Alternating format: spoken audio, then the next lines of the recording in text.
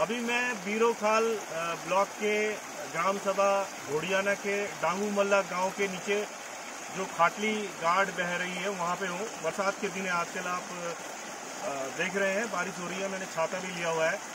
और ख़ास तौर पे यहाँ पे आने का मकसद ये है कि यहाँ के एक जागरूक नागरिक हैं, अनिल कुमार। उन्होंने कई बार मुझे फ़ोन किया कि आप यहाँ पे आइए, हमारी बात कोई सुन नहीं रहा है। और यहाँ पे बहुत बड़ा भ्रष्टाचार किया जा रहा है। मैं आपको दिखाना चाहूँगा कि ये जो आप गार्ड देख रहे हैं पीछे, ये खाटली गार्ड है और आगे जो रखड़ी खाल की तरफ़ जाती है, दुनाऊ जल विद्युत परियोजना जो है, वो इसी पे बनी है। और इसमें जो भ्रष्टाचार की बात है, वो भ्रष्टाचार फिर से सिंचाई विभाग का है। मैं पहले भी आपको संगला कोटी में एक करोड़ की जो दीवार लगाई जा रही है उसमें कैसे भ्रष्टाचार किया जा रहा है, वो मैंने आपको दिखाया था। और यहाँ पे मैं आपको दिखाना चाहूँगा, ये यहाँ पे एक जो सिंचाई की गूल है, वो यहाँ से निकाली गई है। लेकिन आप देख सकते हैं कि इसका जो हेड है, ये इसका हेड है, लेकिन हेड पे ही इसकी कोई सुरक्षा नहीं की गई है। और आगे आपको मैं दिखाऊँगा कि आगे वहाँ पे वायर क्रेट वाली दीवार लगा दी गई है, जो कि बड़ी लापरवाही से लगाई गई है।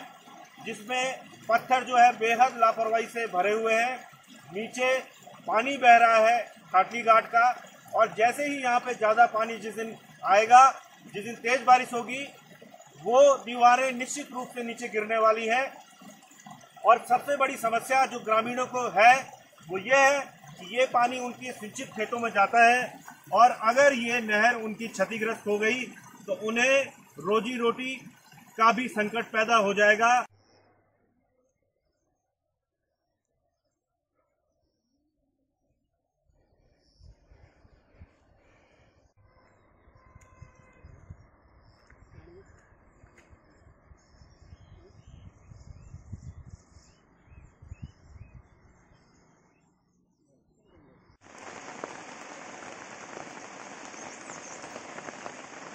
देखिए कितनी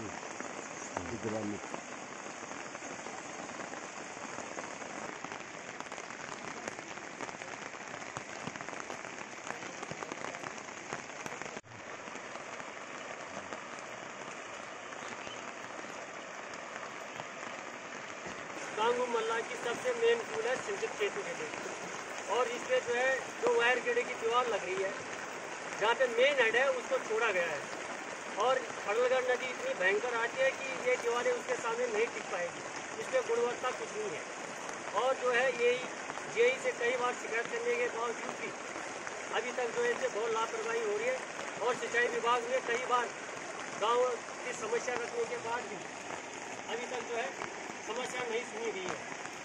इसलिए कि समस्त ग्रामवासी को आगे ये अनुभव हो रहा है कि सारी जो वायर खेड़े की दीवार है ये सारी नहर में दब जाएगी और सारी नहर, जिसकी जो नहर है वो बर्बाद हो जाएगी। बड़ी पैर जो हमारू शारो गुंजान और गाँव लोग यहाँ से नहीं, परस बड़ी शारो से अब सब कुछ व्यवस्था जल्दी और सिंचाई विभाग द्वारा जो दीवार लगानी थी।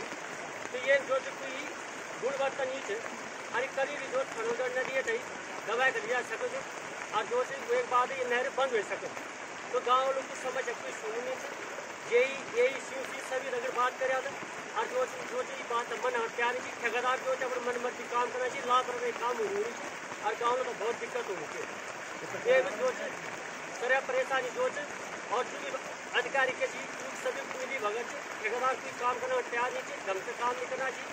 अभी मशीन द्वारा सर सुधार हुई है, कभी दे तो सब जो सिंचित खेत के सभी बह जाओ तब गाँव वाला परेशान हो जाओ हमने जे साहब को बताया था ये दीवार के बारे में।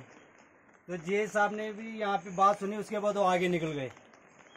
क्या गड़बड़ क्या है इस दीवार में? गड़बड़ साहब ये दीवार देखिए आप ही देखिए दीवार का क्या हाल है। अगर एक भी बारिश थोड़ी सी बारिश आएगी तो ये दीवार इधर को नहर की तरफ़ गिर जाएगी।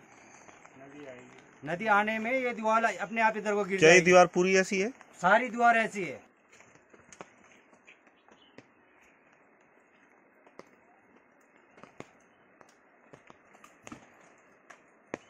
सिंचाई विभाग का जो मूल मकसद है, वो ये है कि जो नहरें हैं, उनको खेतों तक पहुँचाया जाए, वो सही हो, टूटी ना हो, जिससे कि पानी प्रॉपरली पहुँचे। लेकिन आप देख सकते हैं कि करोड़ों रुपए ठिकाने लगाने के लिए तो विभाग के पास है, लेकिन मुझे लगता है कि इस गूल में अगर दो चार लाख रुपए भी खर्च कर दिए जाते तो ये ठीक हो सकती थी।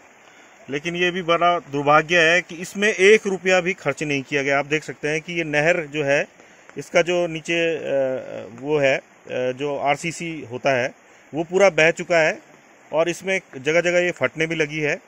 तो अगर इनका मकसद इस नहर को बचाना था तो पहले इस नहर पे ही पैसा लगना चाहिए था। आप खुद ही देख सकते हैं। अ, मैं इसमें आपको ज़्यादा क्या बताऊँ आप खुद ही देख सकते हैं कि नहर का जो बेस है वो पूरी तरीके से बह चुका है। जगह जगह ये नहर फटने लगी है। तो ये समझा जा सकता है कि ये काम क्यों किया जा रहा है। ये केवल पैसे को ठिकाने लगाना है। ये इनका मकसद नहीं लगता कि सिंचाई गूल के मार्फत खेतों तक पानी पहुँचाया जाए और जिससे कि लोग खेती बाड़ी कर सकें। ये आप इस गूल की स्थिति देख सकते हैं। इसका जो बेस है, वो पूरी तरीके से बह चुका है। लेकिन इसमें जो रिपेयर है, उसके लिए सिंचाई विभाग के पास कोई पैसा नहीं है। और आप देख सकते हैं कि गाँव की जो महिलाएँ हैं, वो भी अब नीचे आ गई हैं।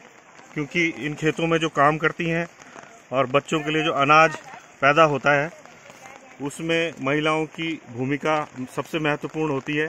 तो वो भी बड़ी निराश हैं कि इतना पैसा लगने के बाद ये इनके गाँव के नीचे ये हो क्या रहा है यहाँ पे।